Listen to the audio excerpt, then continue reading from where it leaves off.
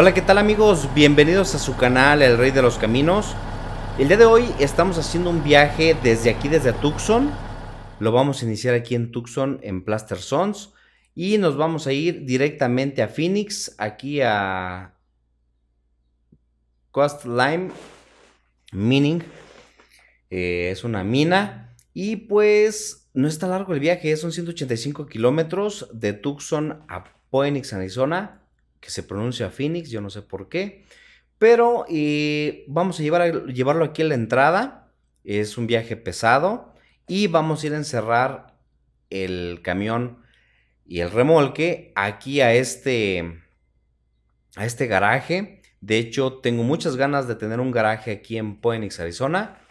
Y pues lo vamos a comprar, amigos. Así que pues vamos a darle para también ir a hacer la compra y no tardarnos tanto.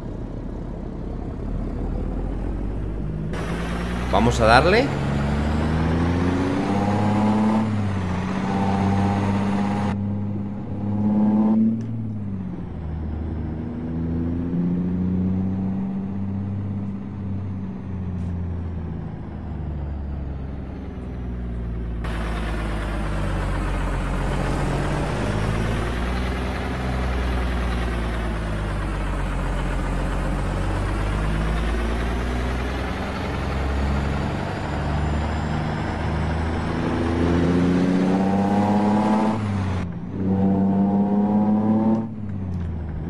Nada más como bufo este Caterpillar.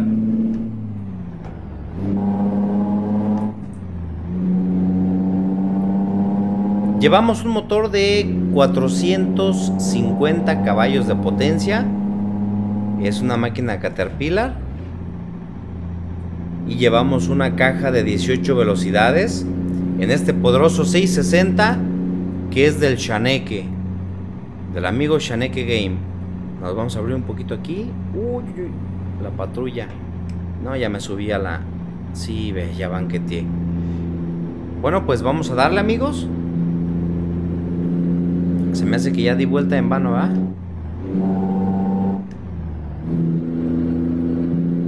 Vamos a darle.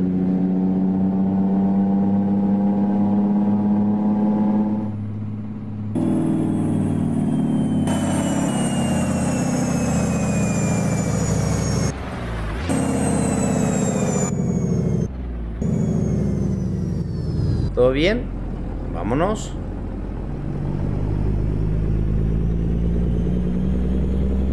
No vamos a banquetear, ¿verdad?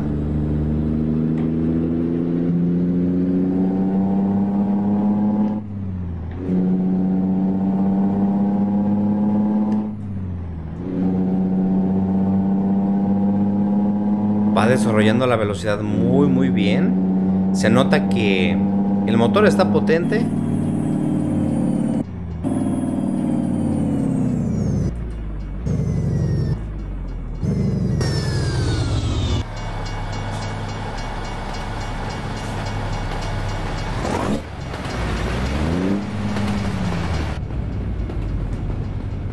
Vean nada más, este va lleno de contenedores de Busnell.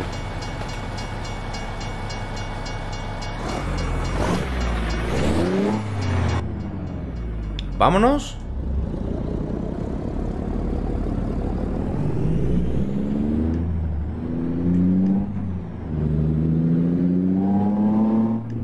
Ni les dije el peso, llevamos 62 toneladas de tanques de gas estas planas se llaman Marquesa.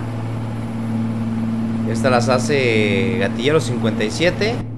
El compita Misael López. Uy, ya me pasé, ¿verdad? Las hace Misael López. Muy buen mod. La verdad es que a mí me agradó bastante.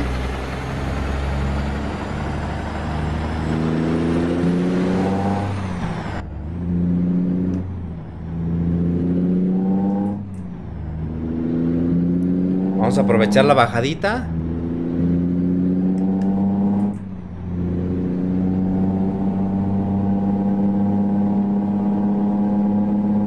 Pues vámonos amigos. Vamos a incorporarnos a la carretera.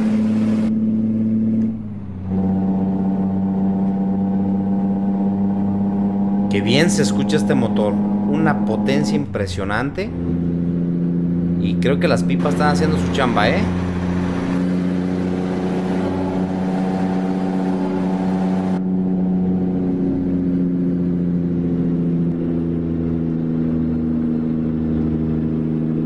No bajó de 1500. Este tipo de motores me gusta revolucionarlos para que se escuchen mucho mejor. Aunque realmente ya en la vida real este tipo de motores no se revolucionan tanto. Me comentaba un amigo que traía un C15 este y dice que normalmente a las 1200 1300 le metía la siguiente cambio. Es bien distinto cómo se maneja un Caterpillar a un Cummins. Quién sabe si será cierto, ¿verdad?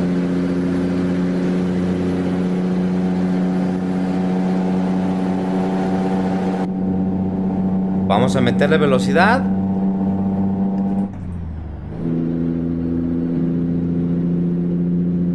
Ya vamos en la 7 baja. Aquí derecho llegamos a Phoenix.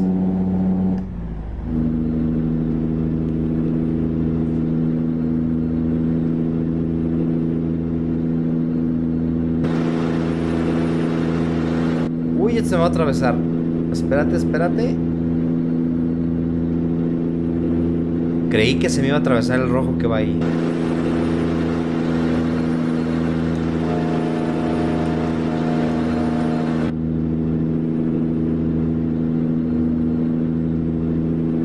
En 7 alta va bien. Creo que más adelante le voy a tumbar una velocidad, no lo sé. ¿No? Ya se agarró bien. Lleva 62 toneladas, amigos, ¿eh? La verdad es que está muy muy bien este tipo de motores Caterpillar. Hermoso que es este camión. Qué refinado, qué bien lo hicieron. Le vamos a dejar ir la otra. 8 baja. Vamos a ver cómo se comporta.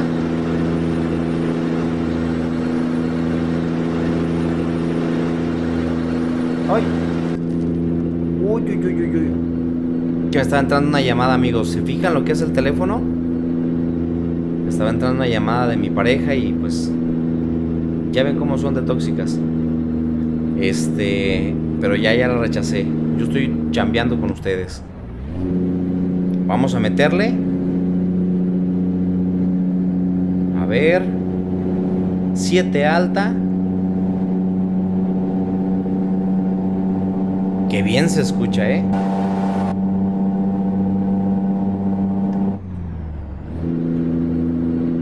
El otro día le digo a un cuate que llegó a mi negocio y le digo, oye, ¿por qué las empresas... Él trabaja en una empresa que se llama, creo que se llama Rael. Transporte Rael. También tienen flotilla en Estados Unidos. Le digo, oye, ¿por qué ¿Por qué escatiman tanto los patrones en, en una cabina más grande? ¿Por qué te dejan la, la, midroof? Él trae un Cascadia, un Cascadia Evolution, nuevecito. Y dice que ya le van a cambiar al Cascadia al más nuevo, al, al, padrote, el que acaba de salir aquí en el juego. Le digo, ¿por qué razón? O sea, ya, ya a la hora de una inversión de este tipo, no sé cuánto sea la diferencia de una cabina mediana a la más grande, a la más top. Pero yo creo que para una empresa que ya tiene flotilla, yo pienso que no es mucho. Me dice, te voy a decir por qué normalmente son cabinas medianas. Si tú compras la cabina más grande, no puedes cargar doble remolque de 40. Dijo, ya se pasa como con 20, 30 centímetros. Así es que muy difícilmente te la van a vender así. Siempre se vende la mediana, la midroof por la misma razón de que eh, muchas veces una inversión como un tracto se va a utilizar con doble remolque. Dice, yo traigo doble remolque de 40 pies y da exactamente 31 metros de defensa a defensa, ya con el full. Dice, pero donde se pase, yo traía una vez uno que era de cabina más grande, dice, se pasó como con 20 centímetros y tuvimos que pagar, o sea, pues el patrón tuvo que pagar 8 mil pesos de multa por esos 20 centímetros. Dependiendo lo que te pases de la dimensión, es el costo de la multa. Híjole, yo me quedé sacadísimo de onda. Imagínate. Imagínate un, un silo de esos que se pasan hasta un metro por cada lado. No inventes, entonces ¿cuánto sale ese? ¿50? ¿60 mil?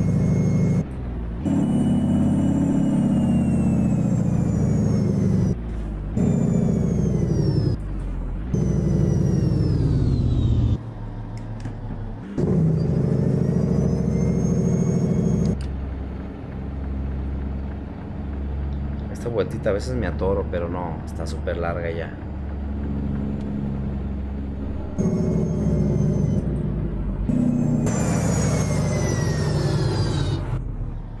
Está raro el freno de motor de este, de este camión, ¿eh? Híjole, me voy a tener que cambiar a la izquierda.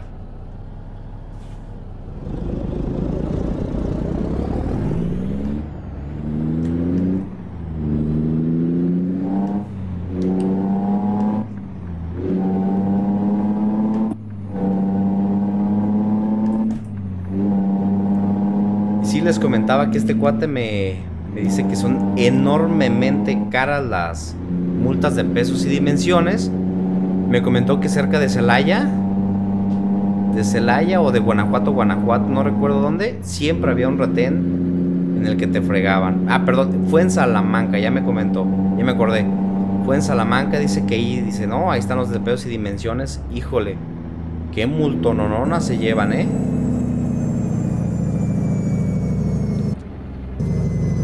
Se agarran muchísimo dinero.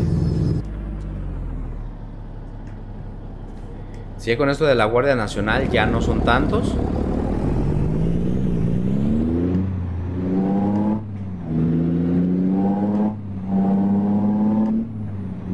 Que bien se escucha.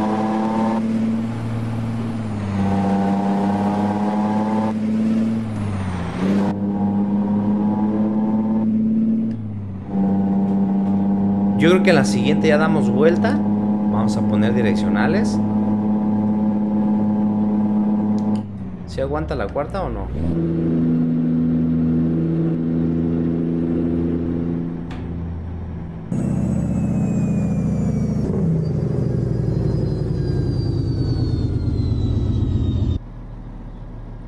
¿Es aquí o qué onda? Sí, ¿verdad?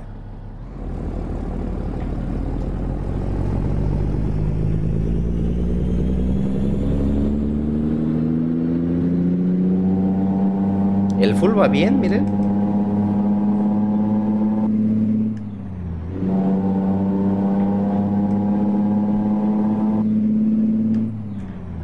Así que como ven a los cuates de pesos y dimensiones, amigos. Están perros, ¿verdad? Hace poco pasó un cuate también de un silo grande en una camioneta de 3 toneladas, en una F350 o 450, no recuerdo cuál era.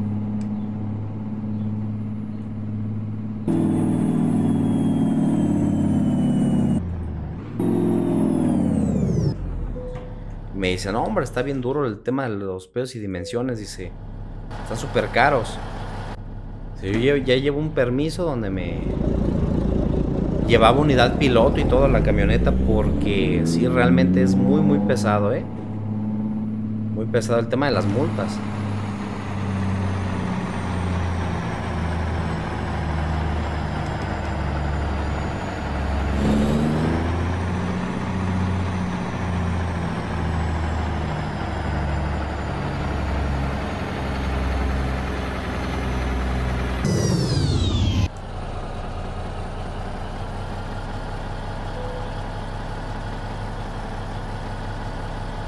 ¿Listo amigos? Solamente se me olvidó tomar la foto, así que vamos a tomársela de una buena vez. Aquí se la vamos a tomar. A ver.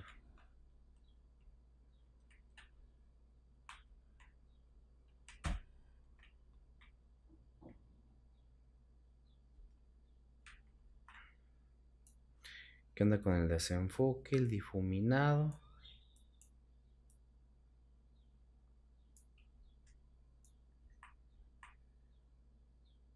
Ahí es. Y la saturación al tope.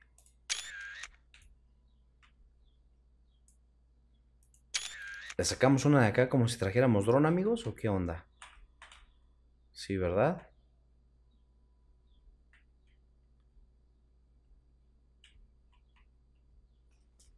Vamos para abajo.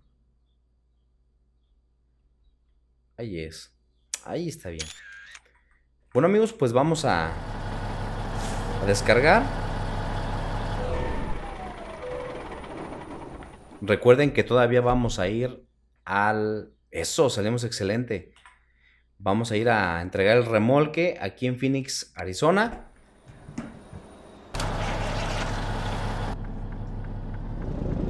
Vamos a arrancar en alta.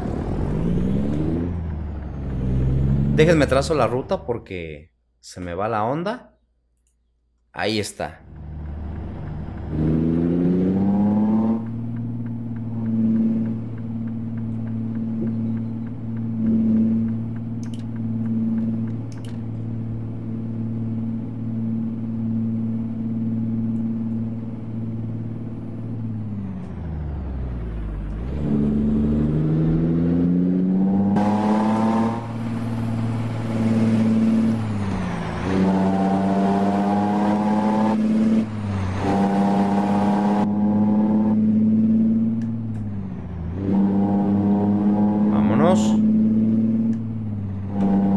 Que bien está este 660, ¿eh? me encanta cómo se ve. Este es uno de mis camiones favoritos. Y la verdad me encanta conducirlo. Venimos vacíos, prácticamente es un coche cuando venimos vacíos. Un coche muy muy largo, ¿verdad? Estamos esperando el semáforo. Vamos a girar a la izquierda y creo que después a la derecha.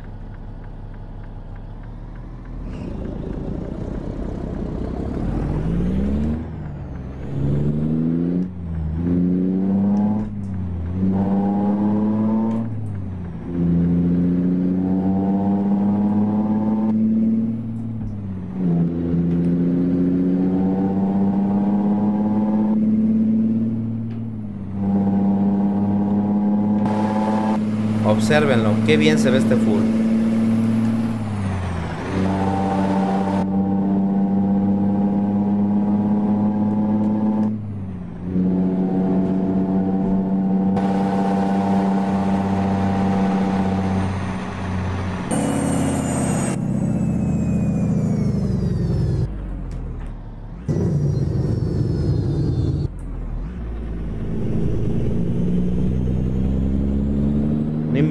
Vamos a agarrar. Vamos a agarrar carretera así, ¿verdad? Era mejor por acá. Híjole, ni modo. Vámonos.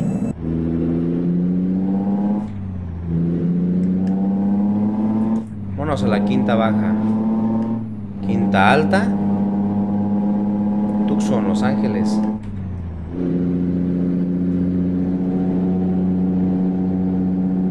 No, pues ya nos vamos a salir aquí enseguidita. Era mejor irnos derecho como había marcado primero la ruta, pero como que lo cambió, ¿no? Si lo marqué más mal desde un inicio.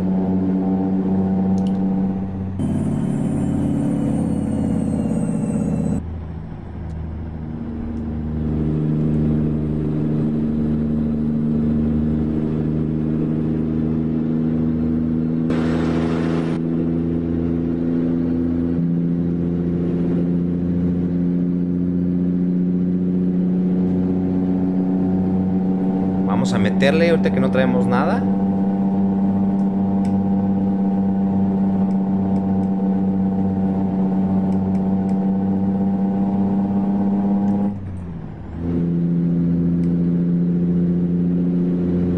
Ya vamos a 80, ¿eh?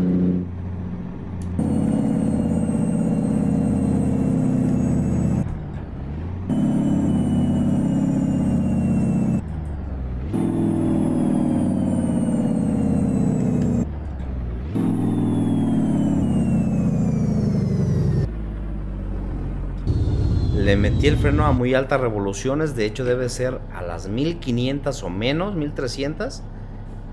realmente... Y eso me lo acaba de decir el mismo cuate. Me dice que los Cascadia les centra el, el freno a los 1400, 1500 revoluciones. Uy, yo pensé que me le iban a fiar. Ya valió.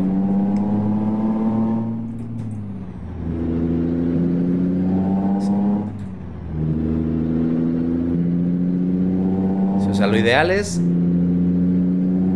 ir y soltarle, frenar, 1500, cuando llegue a 1500, chequen el tablero, hacer esto. Así es como se debe frenar. Eh, cada camión es diferente, eso me estaba comentando. Pero dice que el Cascadia se debe manejar de esta manera como les estoy comentando. No sé si los demás sean igual. Yo creo que no, por el tema de las máquinas y tecnología. Este. Tipos de máquinas que tienen más revoluciones. No, no, no. Es todo un desorden. Hasta las 1500. A ver. Vamos a darle mejor para llegar.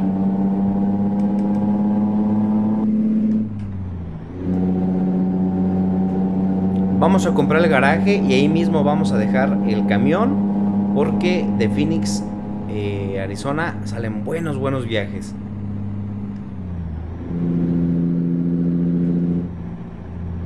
frenamos y metemos... Ahí está.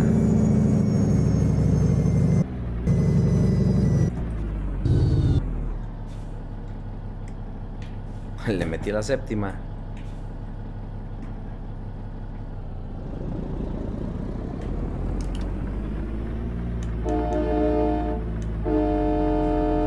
¿Qué con este?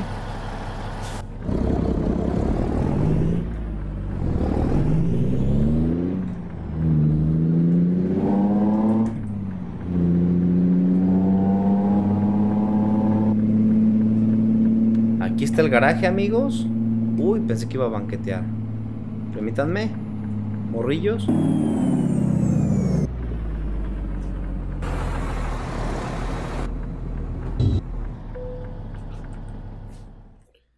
¿Lo queremos comprar? Sí, claro que sí. Ahí está el garaje, pequeño, pero ahí está. A ver, ¿qué vamos a hacer? Voy a dejar el remolque acá de este lado.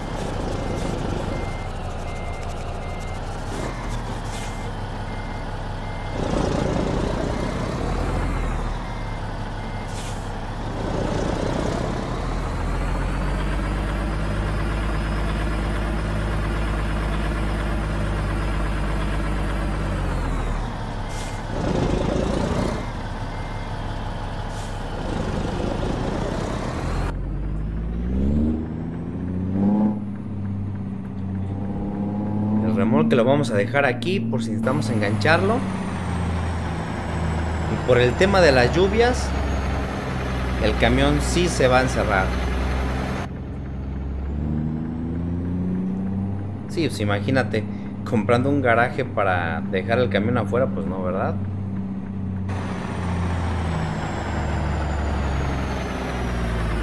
Aquí es.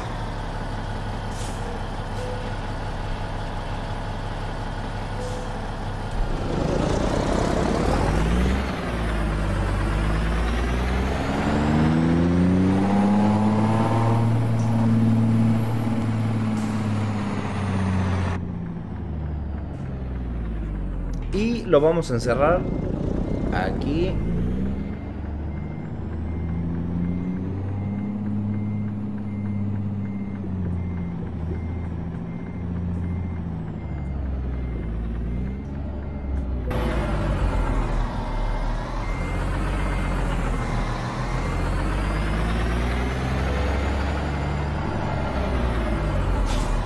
Más para adelante.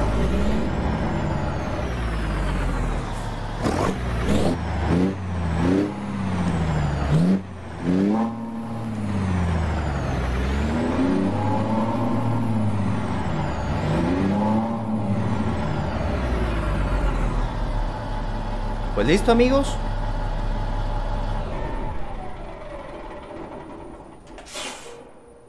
Bueno amigos, pues eso fue todo por hoy. Eh, ya finalizamos el viaje. Les quiero agradecer su tiempo y atención y nos vemos en el siguiente capítulo. Hasta luego.